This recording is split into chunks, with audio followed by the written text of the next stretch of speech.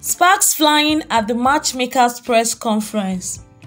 Rowoon and Cho Yi Hyun, a match made in K-drama heaven.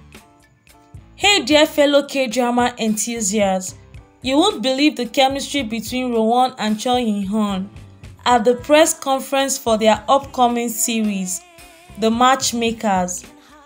These two look absolutely stunning together and we can't help but ship them in real life too. The countdown is on because the drama premieres tonight.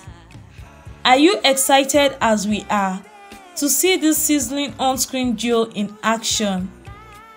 Fans are already going crazy and some of them are even begging these two talented actors to take their chemistry off screen and into real life. Do you think they would make a perfect couple outside of the drama world?